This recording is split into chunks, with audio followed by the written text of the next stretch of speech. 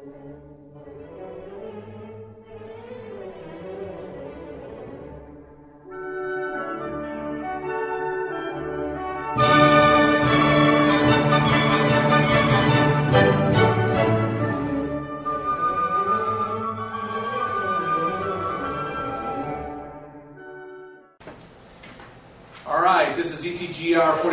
5101, lab number uh, five demo. Thank you for the uh, for the um, hint, since I can't remember what my what lab we're on. Uh, this is it. This is a board. Isn't this exciting? By the way, uh, question: When you ordered these boards online, how many of you actually got the Future Electronics uh, uh, Design Center board, the extra thing? One, two. I got three extras. You got three X's. You gave me one. I got one extra. Yeah, so you gave me one. You've got one. And where did you buy these from? They were a penny from Penny. Future Electronics. All right. So if you bought the board from Future Electronics, You can still buy those from Future Electronics for a penny. you can still buy these for a penny plus shipping. Uh, a week ago could have. Pardon me? Shipping's like a four or five dollars or something. Yeah, four or five dollars. All right. So um, we'll actually take it apart. I could like pop it off the board, right? Yeah. Because it's just pluggable on it. Do we have to have that? Do you have to have it? No, you don't have to have it, but it helps. It's nice. And if you you know if you want to uh, if you want to sell some to get some money back from your board, I think I think you should be all over that one. 20 minutes. Twenty bucks. Don't think so. All right. So without further ado, Michael. All right. Hello, hello. So, how did Lab 4 treat y'all? It was good. It was good? It was. I Uh, like it. Well, hopefully you learned quite a bit from Lab 4. And once again, uh, we're all about building on prior knowledge, right? So, in Lab 5, essentially, you're going to take what you learned in Lab 4. Which, what did you learn in Lab 4? All right, so you learned about UART, right? So in this lab, we're going to learn about, well, what was the big problem you had with UART in lab four, I should say? Delay. Everything. The big, the big thing, if you're trying to send more than one character, what was the, the huge problem? Logging that button. All right, so having a delay, right? That problem. So in this lab, we're going to look at how to get around that. And once you do, we're also going to introduce a few other things. We're bringing back the LCD driver again to make something similar to an oscilloscope. All right, that's kind of neat. See, I can adjust this and ooh, it changes. It's not just a line. I want to do that.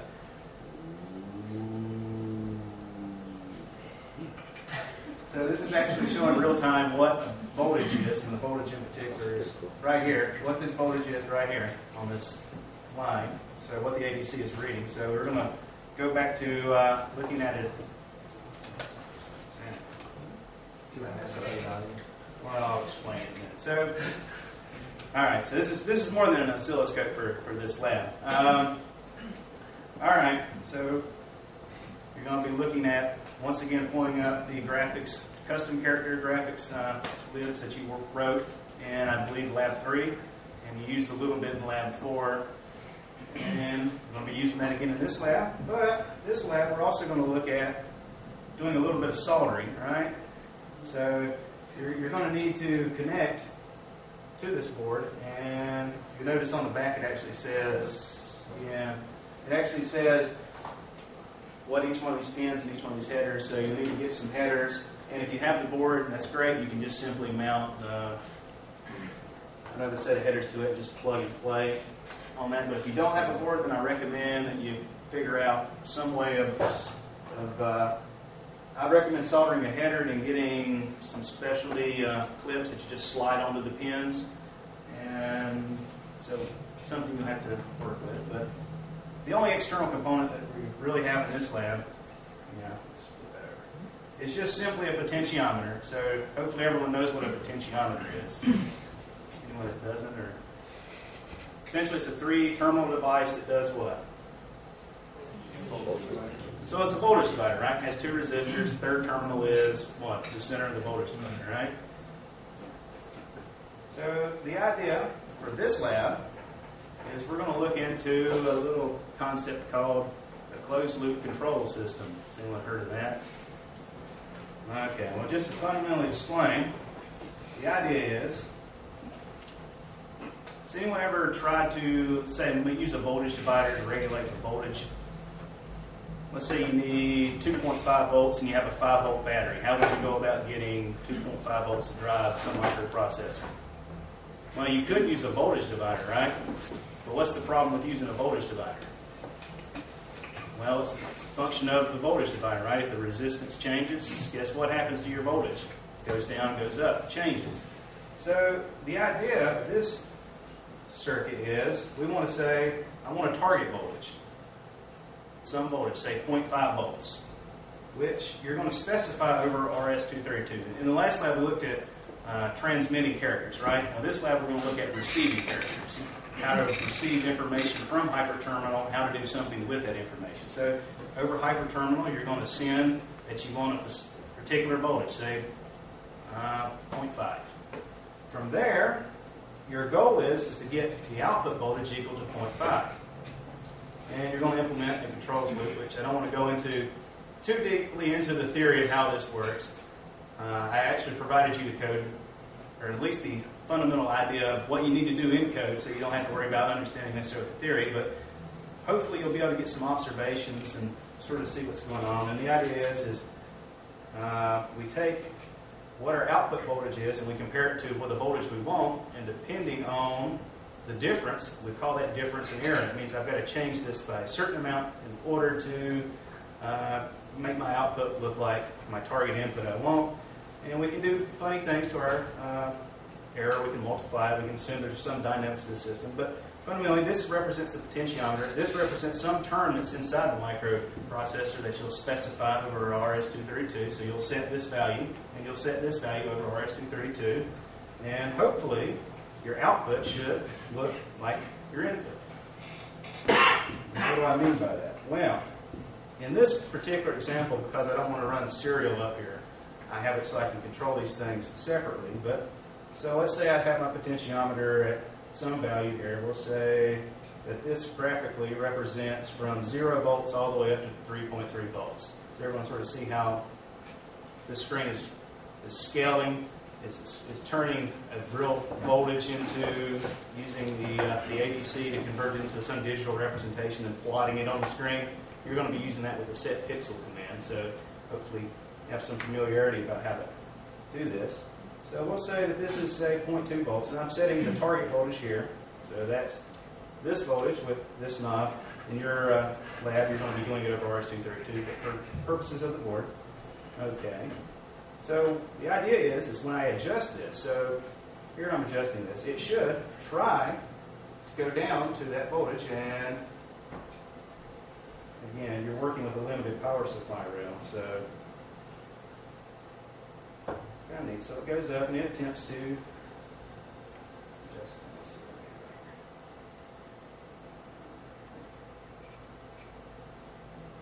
So we can see it reacts kind of quickly. I change it up and it goes back down.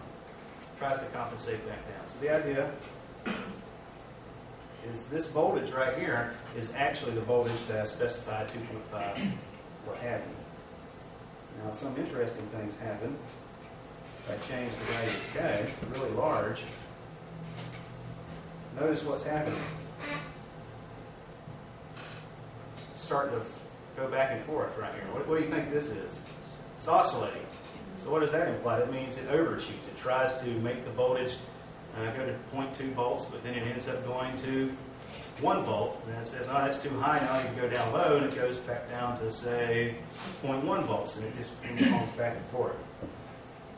But, so hopefully you can play around with these parameters and sort of see how changing different things in the control loop sort of plays with it. But hopefully when you get done with this, you'll know how to make a little oscilloscope out of this. And you can see it's a neat little thing. And I have a, a write-up on it. So, see. So any questions on that? I do recommend you get started on it the UART can give you some trouble. So hopefully everyone's got that figured out, but if not, I'll be in the lab all for the remainder of this week, next week. So And again, when you're developing embedded systems, what do you do? You build all the code right and you throw it in the compiler and you try and debug everything at one time, right? Yeah. Yeah. Yeah, smack you. All right. So if you uh, did I do that in film? Sorry. Uh, again, do a little bit at a time. Understand how do I display something on the screen. Work on that. Get it to work correctly. Then work on RS-232. How do I pull something in? Get that proven. Work on that. Then you can start working on the oscilloscope aspect of it using the input. In fact, uh, uh, you can do quite a bit of this lab without even having to do any soldering to begin with. All right, so start getting all the, the pieces together, and then you can start work on the other aspects of this. Uh, I believe they will need uh, a potentiometer from Eddie, correct? There will be a pinch out for 80. Make sure you get one that's probably above 5K. You don't want to get something too small so you're pulling a lot of current on this board. And it is probably preferable to get something that's a little bit easier to, to twist your, with your hand versus with a uh, uh, with a screwdriver. So see if you can get some sort of hand hand potentiometer. And I, knowing our supplies, we have tons of tons of that. You know, we don't have the new stuff with uh, that needs small little itty bitty surface mount uh, uh, parts with screwdrivers. We got lots of this old stuff. So, um, and again, you don't need to have this board to do it, but uh, that will require you to solder a couple of wires to your own board. By the way, if you are using one of uh, our department boards for these labs, you are not allowed to solder to it. Is anybody still using our departmental boards and borrowing them? Nope. Everybody went off and bought one? Okay. Any other general questions? Or are you all scared? You want to read about it first? Theoretically, it is out there. Let's see if it is out there. Ooh, it found the hardware. That's nice. Yeah, it looks harder than it actually is.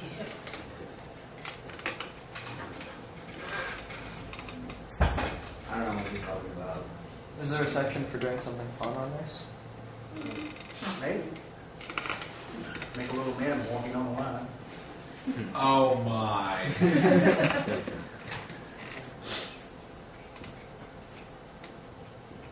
again, on the page, it is lab number three, five, three, five, yeah, something like that.